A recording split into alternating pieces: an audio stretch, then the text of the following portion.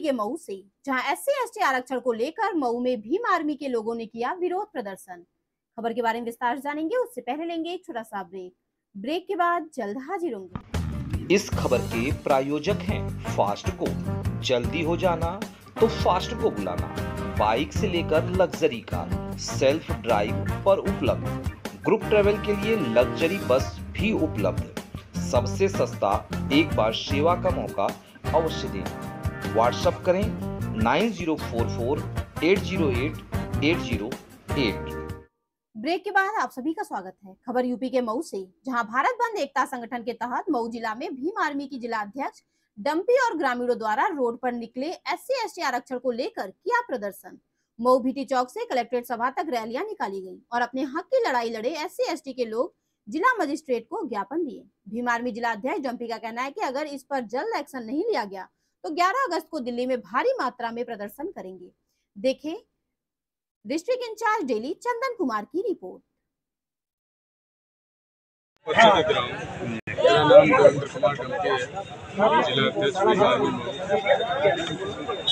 ये देखिए ज्ञापन जो दिया गया है, इसका उद्देश्य यही है कि जो माननीय सुप्रीम कोर्ट के द्वारा जो उपवर्गीकरण एस सी एस टी आरक्षण में जो वो आदेश किए हैं माननीय सुप्रीम कोर्ट द्वारा जो ये किया गया है आरक्षण के खिलाफ वर्गीकरण बंटवारा जो एस सी एस टी में जो बंटवारा जो करने का प्रयास किया जा रहा है उसके खिलाफ जो है ज्ञापन दिया गया है डीएम साहब के द्वारा जो है सिटी मजिस्ट्रेट जी को। और जो है इसमें जो है चार, पाँच मांगे हैं, जिसमें पहला है जातिगत जनगणना।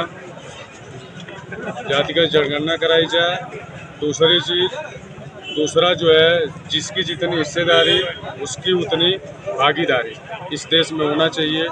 तीसरी चीज़ ये है कि S C S T O B C अनुसूचित जात, अनुसूचित जनजात, अन्य पिछड़ा समाज का जो सरकारी विभागों में जो आरक्षण है उसमें जो है संपूर्ण रूप से सबको मिलना चाहिए।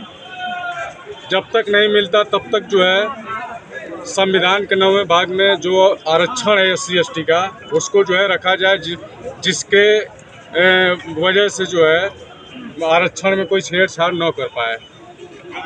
यही मांग है हम लोगों की भीम आर्मी की और आज़ाद समाज पार्टी की। जिला यूनिट भीम आर्मी मऊ पूरे ज़िले के जो यूनिट है भीम आर्मी की, यही मांग है।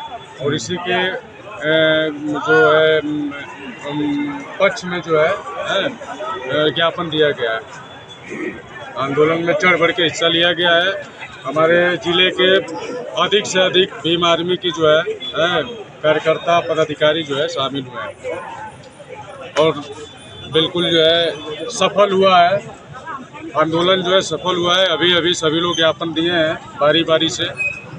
और पूरा प्रयास है कि सुप्रीम कोर्ट जो है इसको वापस लेगी, अगर नहीं लेगी, तब तक जो है आंदोलन किया जाएगा। दूसरे चरण में भाई चंद्रशेखर, जो हमारे वर्तमान में माननीय चंद्रशेखर जी जो है, नगीना बिजनौर से सांसद हैं, और उनके दूसरा जो है चरण जो है, दिशा निर्देश है, उनका आदेश है कि दिल्ली जंतर मंतर पे एक ऐतिहासिक आंदोलन किया जाएगा सुप्रीम कोर्ट के इस आदेश के खिलाफ और जो है सुप्रीम कोर्ट को इस आदेश को वापस